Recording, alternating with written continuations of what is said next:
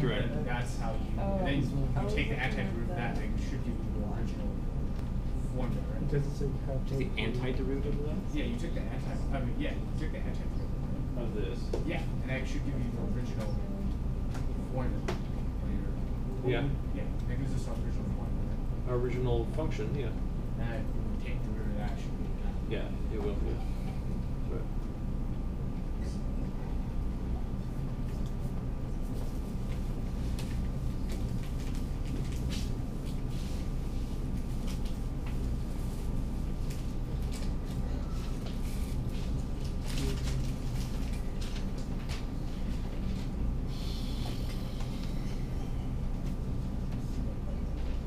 Is Now I gotta show you some uh, subtleties within these problems here. Twenty-four. A little bit of. Sine to the tenth power cosine theta. Find an antiderivative. Okay. Sine ten. Sine to the tenth power times cosine is our integrand. You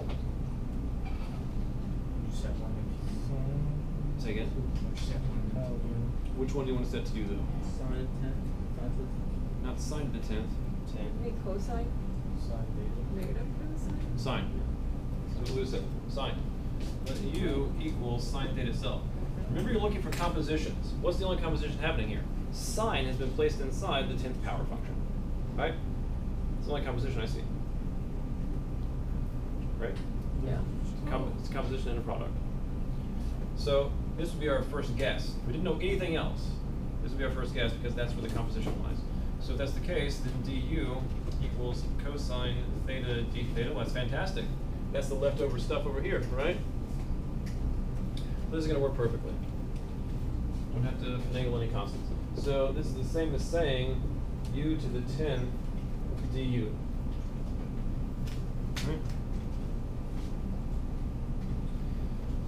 Which we know is the same as 1 11th u to the 11th plus c.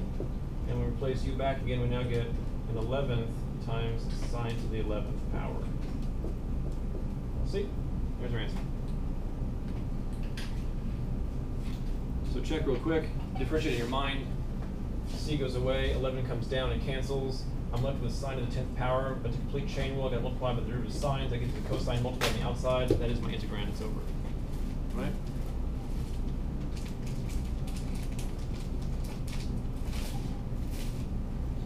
Since du was um already what was out there, you didn't really have to do anything extra. That's right. Okay. I Just want you guys to see this with the trig ones too, don't get confused by them.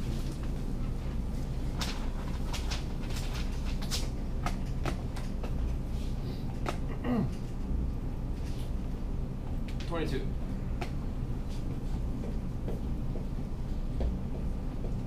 Ten x minus three dx. X minus three, yeah.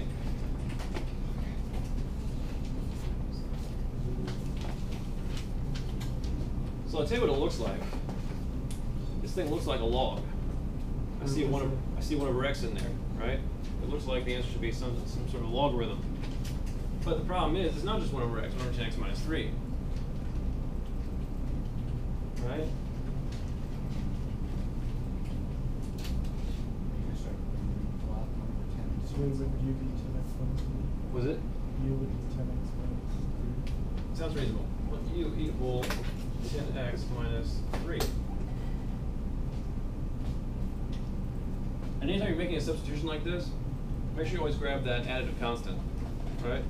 Because in the next part, when you take the derivative, it's going to go to zero, so it doesn't really affect anything in terms of the substitution, meaning the du substitution. But it makes this substitution all the better. You don't have these straggling constants around, right? All right, so now du is what? 10 dx. All right, fantastic. I don't have a 10 dx sitting there. I've got a dx sitting there. So I should divide both sides by 10 on this expression. So I have one, again, this is the way I approach it. Different ways. Like that. All right. So up here, dx should replace with the 10th du. And again, since the 10th is being multiplied, I can take the tenth to the outside immediately when I write the new integral, right? So how does it read now? One tenth integral one on u du. Agreed? And why do you, why do you divide the ten back over to one tenth? Because up here I didn't have ten d. I had one dx. Re- Remember, this is like being multiplied, and the book, a lot of times will write it, you know, the dx just sitting up there already. So since I only have a one dx, but my relationship has ten dx in it, I would like to have it just read dx, like I have here, so I would divide off by the ten. Okay. D, du isn't a representative number, right? That's just- du? Yeah, du. du is the, the change in u, infinitesimally small change in u. Which is ten dx. It is in this case, it's ten times the infinitesimally small change in Yeah, but you wouldn't write that. You wouldn't write that anywhere. Here, I did. This expression implies this expression. So now I replace dx, I replace this with the one tenth du. dx is one tenth du. You cannot have a mixture of variables within your integral. It's like, it's, it's an operation, it's not, it's rep, it's a representative of something, it's a variable, not a solidified number, right? Du, that's an operation, right? This doesn't, uh, change. Like, du, it's a operation, is that fair to say? d dx is an operator, but once you've operated on something, I mean, like, du, right, du is du with kind of the same word, it's an actual number. It's not an actual number, because it represents a variable change.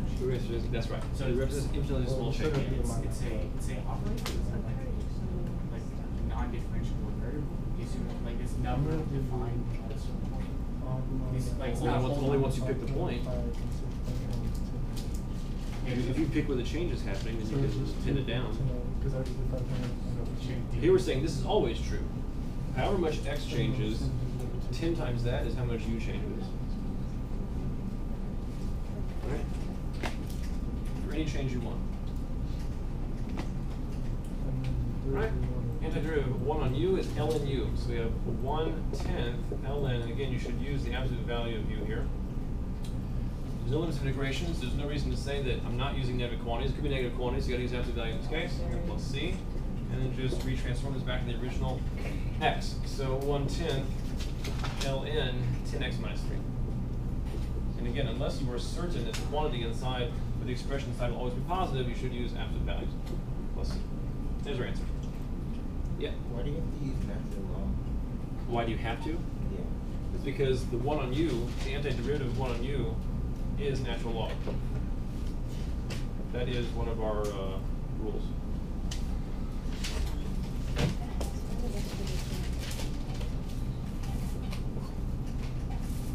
That's the one case the power rule doesn't take care of. The negative first power. u to the negative first is not handled by any power rule. It's specifically the natural log that makes that happen. It's the one Wait, I have a question. Yeah. So, oh, because, um, you decided to take the antiderivative of the one over u, Mhm. du? Yep, that's this guy. Okay. Plus c, because it's just antiderivative, and one tenth, because one tenth is still sitting there. Replace u with the original expression of x, because your answer is supposed to be antiderivative for that, not for this. Even though they're highly related. So you should have your answer back in x at the end of the problem.